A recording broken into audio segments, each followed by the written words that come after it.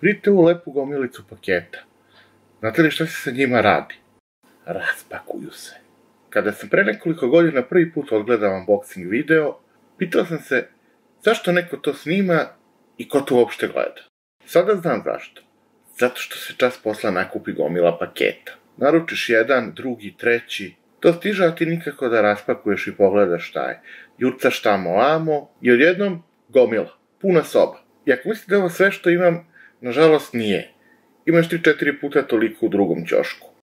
Dakle, unboxing, otpakivanje, ili što neko na YouTube-u reče, otkutijavanje.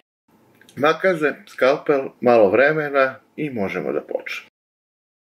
Prva stvar, uvijena u foliju selotejp, lepo zaštićena, neki hard diskovi sa limunda, nisu loši, imaju lep kapacitet, služit će za sklapanje kad zatrebaju. Drugi paket stigao je Posta Expresso. Kockasta kutija, set set, u kutiji su pretvarači napona, odnosno strunji adapteri.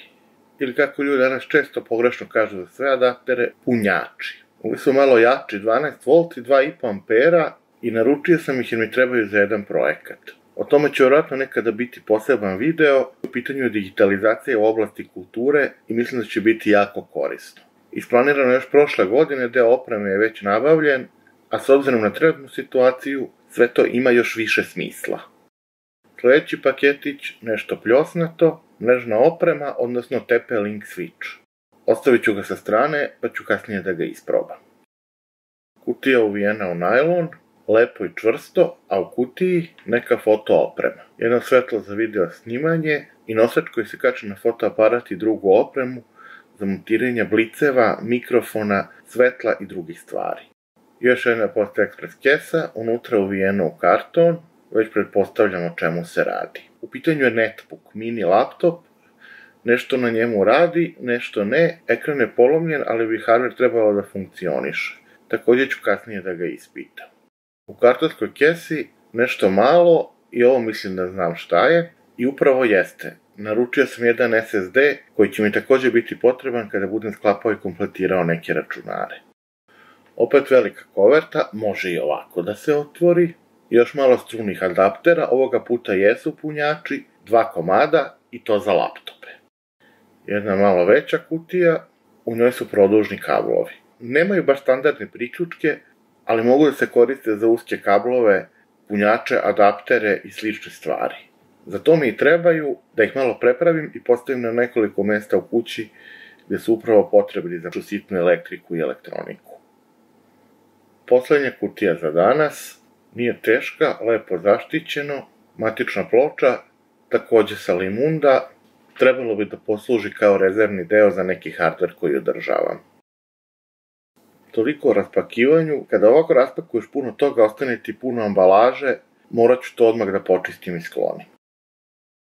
Hard diskovi i SSD idu odmah u fioku sa ostalim diskovima, a jedan produžni kabel ću odmah da montiram. Pošto na njima svakako neću koristiti uzemljenje, kroz rupe u sredini mogu da provučem šrafove. Kabel planiram da postavim ovaj plakar. Tu mi stoji foto oprema i bilo bi zgodno kada bih mogao odmah i da punim baterije na licu mesta, a ne da ih nosam tamo ovamo. Znam da negde unutra već postoji razvedena struja i to sad treba pronaći. Bilo je zavlačenje i provlačenja kabla, ali nije bilo teško. Ostalo mi je da ga ušafim sa unutrašnje strane i može da se koristi.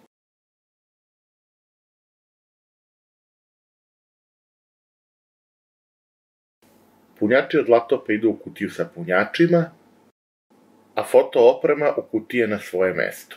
Možda deluje uredno, ali nekad mi se dešavalo da u tom plakaru ne mogu da pronađem štampač. Mali laptop, netbook. Imao je touchscreen koji je razbijen, a sad ćemo da vidimo u kakvom stanju je ekran. Pronašao sam odgovarajući punjač i povezao ga. U prvom pokušaju neće da se uključi, izgleda ću morati da ga rasklopim i da mu ubacim neku memoriju. Malo strpljenja, odvrne šrafove Ja ih obično redom slažem u poklopac od kutije sa šafcigerima i trudim se da zapamtim gde je koji stajao. Kasnije pri sklapanju bitno je da nema manjka šrafova. Višak u principu nije problem, ali ako šaf fali, postoji opasnost da je negde zapao, napravio kratak spoj i može da izazove veliku štetu. Skidam tastaturu i poklopac ispod nje i ubacujem memoriju. Računar se pali, ali ekran je razbijen. Razbijen touch moram da odlepim fenom.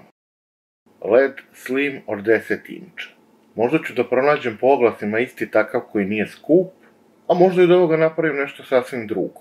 Mogao bih se ovo da spakujem na neki drugi LED ekran i napravim nekakav all-in-one računar koji može sasvim lepo da služi. Ovim sada svakako ne mogu da se bavim do kraja. Šafiće neću sve da vraćam, već samo da ih spakujem u selotejp i zalepim na kućište netbooka kako bih znao da su od njega i da se ne bi izgubili. Proverit ću još i Switch. Ovo je TP-Link druge generacije, pre 10 i više godina, ako smo voleli da ih koristimo. Radi na 100 megabita što je dovoljno za deljenje interneta i osnovne potrebe. Ono što je zanimljivo kod ove generacije uređaja, koriste strune adaptere koji imaju izlaz od 9 V na izmenične struje. Međutim, pokazalo se da ovi uređaji odlično rade i na adapterima koji na izlazu imaju jednosmernu struju. Čak ni naponim nije nešto posebno bitan. Važno je samo da adapter daje dovoljno struje. Zbog svega toga pokazali su se veoma otporni na loše napone i velike varijacije i u tim uslovima radili su mnogo bolje od mnogih drugih tada daleko poznatijih brendova. Zato smo ih često koristili na problematičnim mestima, nisu bili skupi, a pokazali su se izdržljivi. U svakom slučaju, uključuje se i za Search Radio magazin sa ostalom mrežnom opremom. I to bi bilo to za ovaj put. Ovo je bilo moje prvo otpakivanje, ali siguran sam da nije poslednje. Imaš toliko toga da će ih sigurno biti nekoliko. Šta više, planiram neke tematske unboxinge. Naprimer, samo veliki paketi, ili samo paketi koji su došli iz Kine i slično. Hvala što ste gledali, like, share, subscribe, comment i gledamo se u sledećem.